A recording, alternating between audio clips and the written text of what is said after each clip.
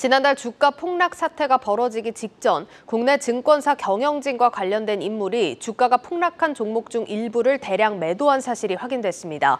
금융감독원은 차익 결제 거래, CFD를 취급하는 증권들을 현장 검사한 결과 미심쩍은 주식 거래를 한 정황이 추가로 드러났습니다. 현장에 나가 있는 취재 기자 연결해 보겠습니다. 송민아 기자. 네, 금융감독원에 나와 있습니다. 예, 이번 주가 폭락 직전에 한 증권사 임원과 관련된 인물이 주식을 대량 매도한 정황이 포착됐다고 하는데 어떤 내용입니까? 네, SG발 주가 폭락 사태와 관련해서 금융감독원이 CFD 매매 내역을 확인하던 중 증권사의 위법, 부당 행위를 몇 가지 포착해서 검사하고 있습니다. 금감원은 오늘 진행 상황을 설명을 하면서 8개 종목의 주가가 폭락하기 직전에 일부 종목을 대량 매도한 증권사 임원과 관련된 자를 적발했다고 밝혔습니다. 3대 불공정 거래 중 하나인 미공개 정보 이용 혐의가 있다고 보고 검찰에 추가 조사를 요청한 상태입니다. 금감원 관계자는 CFD와 관련해서 키움증권과 교보증권, 하나증권의 현장 검사를 진행하고 있다면서 지금 단계에선 해당 증권사가 어딘지 그리고 임원은 누군지 밝힐 수는 없다고 말했습니다. 그리고 금감원이 CFD를 담당하는 임원의 배임 정황도 적발했다라는 소식 들립니다. 자세히 전해주시죠.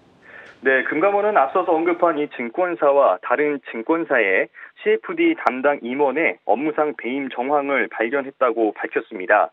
back-to-back 거래 상대방인 외국 증권사로부터 CFD 업무와 관련해서 해당 증권사로 가야 할 마케팅 대금이 연관성이 없는 CFD 매매 시스템 개발 업체로 송금된 점을 포착한 겁니다.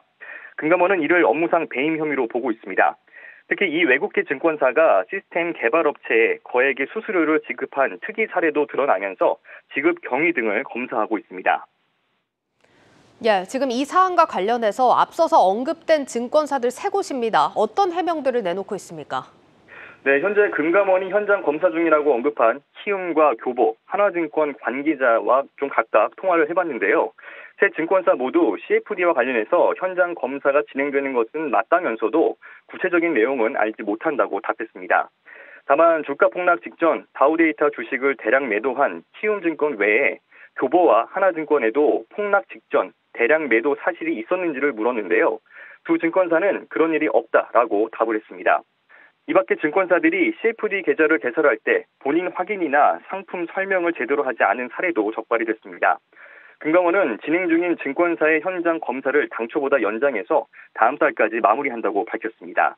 이후 타 증권사로 검사 대상을 확대하는 한편 수사가 더 필요한 부분은 검찰에 통보한다는 입장입니다. 지금까지 금융감독원에서 전해드렸습니다.